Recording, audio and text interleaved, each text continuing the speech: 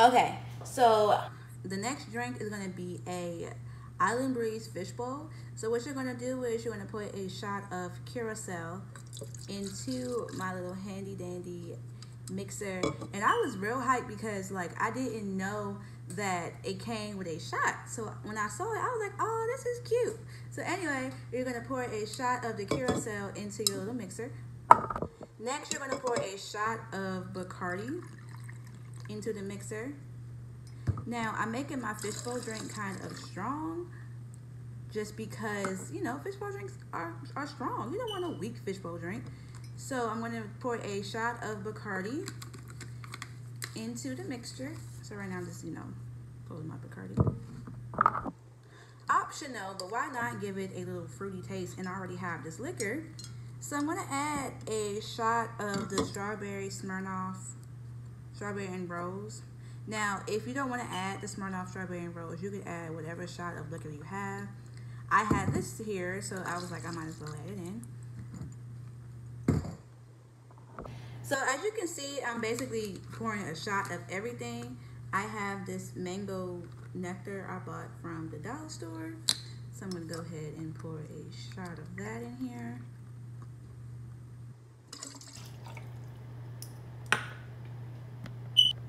You guys, I also have some pineapple juice I bought from the dollar store. I feel like the dollar store got over on me because there is no reason why this pineapple juice should be like $2.75, but whatever. So I'm gonna pour a shot of my pineapple juice in here.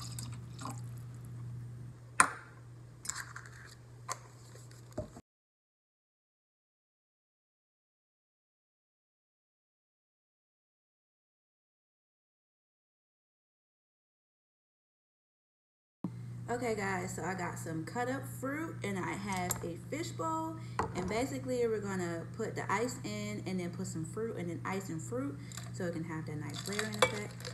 So right now I'm adding a few pieces of ice and I'm gonna stop because you want to look pretty, you know, on the outside because you know when you buy drinks, you buy it because it looks cute.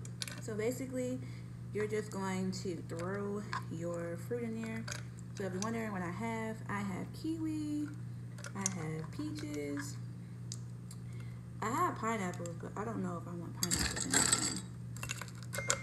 So you just see me adding ice. So it's gonna look like this all around, you know, nice and fruity. So right now you're gonna get your drink and basically you're just gonna pour it in like this. It's gonna look nice and pretty. Gonna look all tropical and whatnot.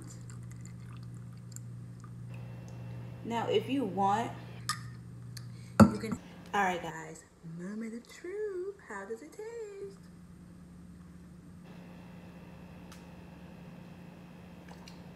Ooh, this tastes real tropical.